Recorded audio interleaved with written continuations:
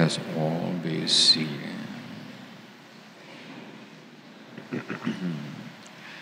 Today is Tuesday of the first week of Lent.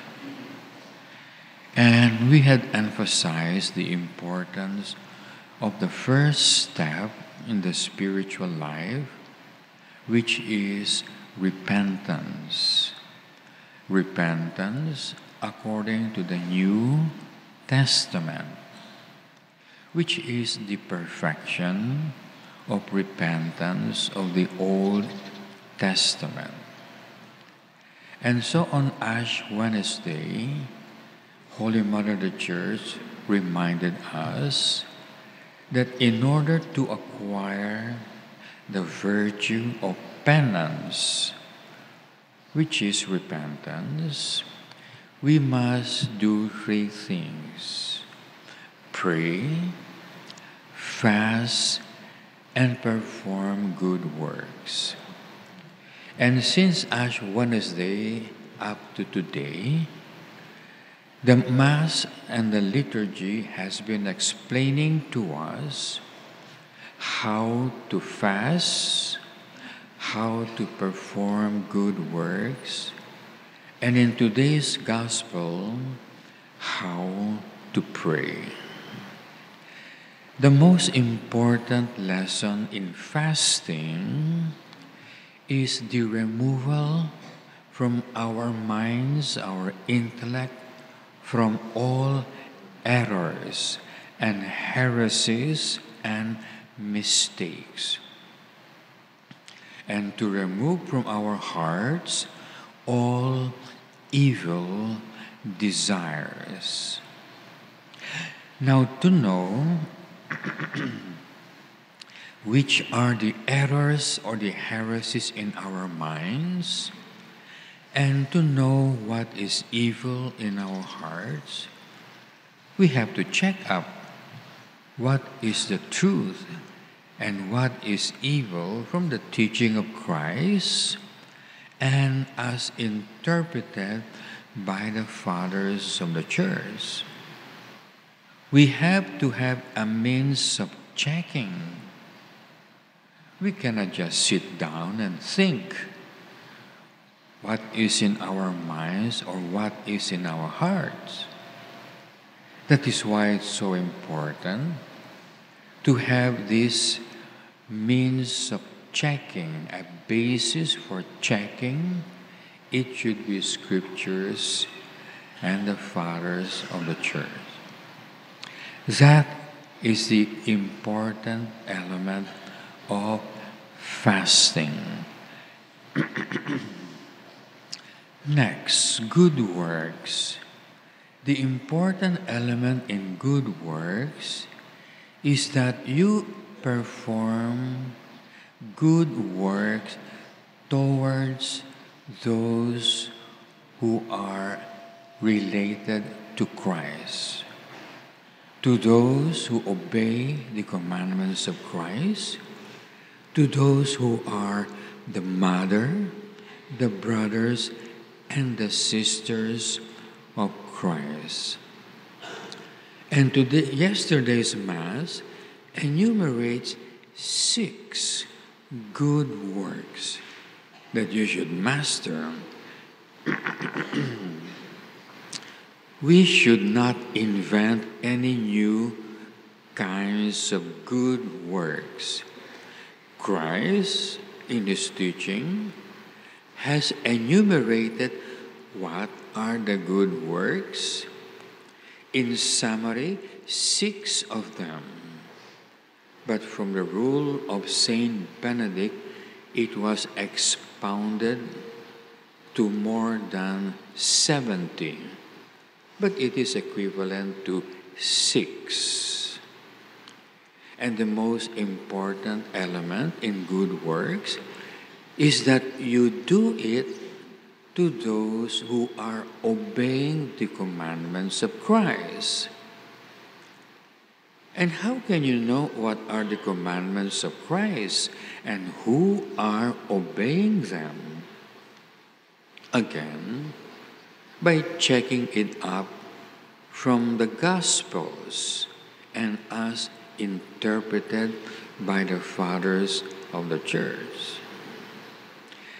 Having seen the important elements of fasting and good works, now let us look at the important element of prayer.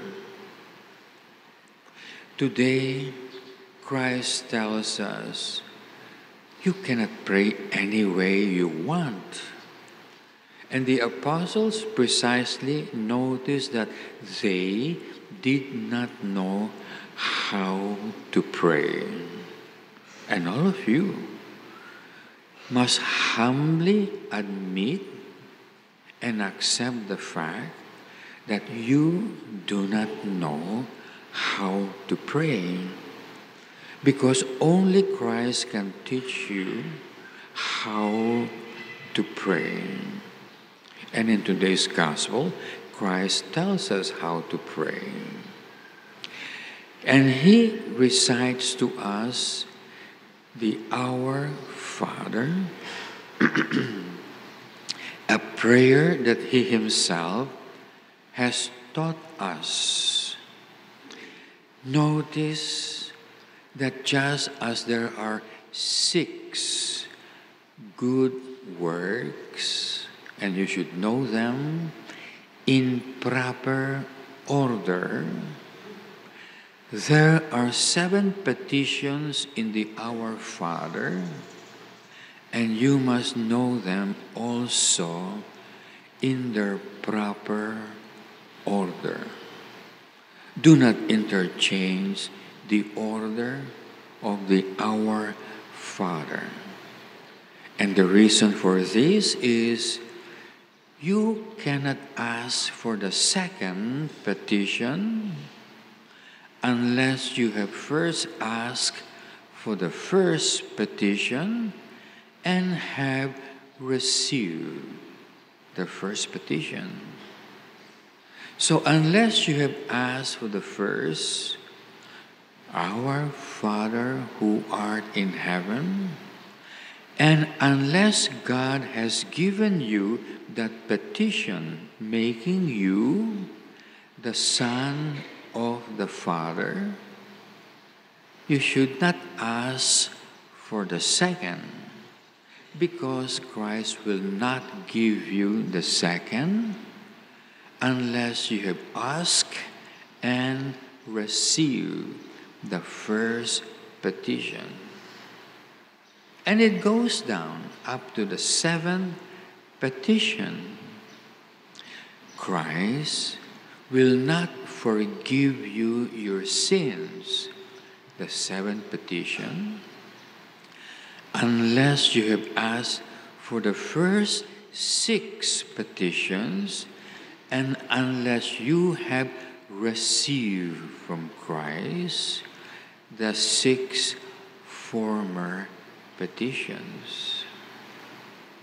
And so St. Thomas of Aquinas continues and says, Unless you have asked for all the seven petitions of the Our Father, and unless you have received the seven petitions of the Our Father, don't ask for anything else yet, because God will not give it to you.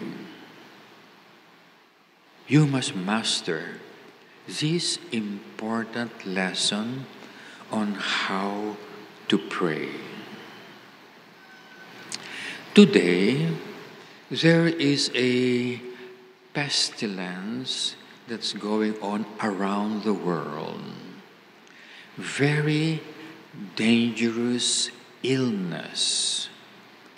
Like the former times when God used to chastise the nations, He sends them earthquakes and volcanic eruptions and fires, and oftentimes pestilence, illnesses that kill us.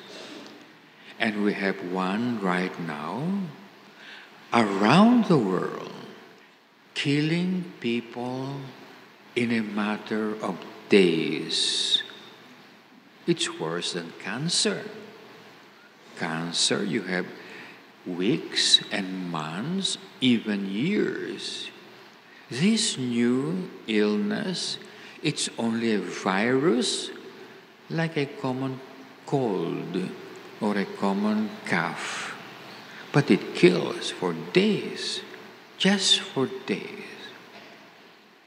And of course, the Catholic bishops are concerned. And so, what do they do? They command the whole world to recite the Oratio Imperata.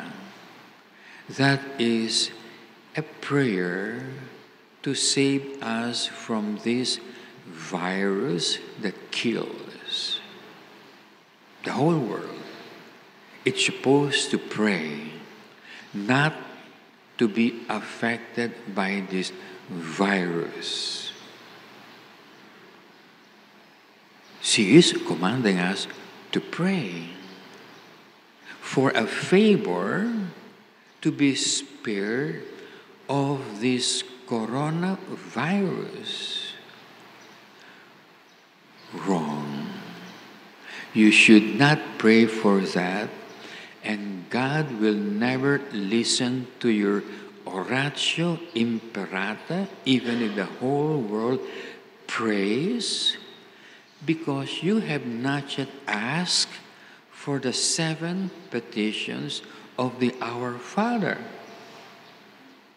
And because you have not asked and you have not yet received the seven petitions of the Our Father, God will not listen to your prayer to be spared of this dangerous virus. Why? Because we are not following the proper order in prayer. Just as there is a proper order in fasting, you fast first with the mind and then with the heart. There is a proper order for good works. First, feed those who are obedient with the Word of God before visiting them in the prisons. There is a proper order. You cannot change it. There is a proper order in praying to God. And the first step that is important in praying to God is that He becomes our Father. And when will God be our Father? Christ said so. If you obey my commands, who is my father? Who is my mother? Who is my brother? My sister. He who obeys my commands. So when we say, Our Father, we want God to be our Father. And when will God be our Father? When will God give us this first petition wherein we become our Father? Only when we obey the commands of Christ. And so, before we pray the Oratio Imperata, asking for a favor that God spares us of this coronavirus that is now inflicted by God on the whole world in which people dies in a matter of days. That should be maybe the eighth petition, maybe the ninth petition, or the tenth petition, which God will never give us unless we have prayed for and received the first petition of the Our Father, which is Our Father, which God will only grant if we are obedient to the commands of Christ. In the name of the Father, the Son, and the Holy Spirit. Amen.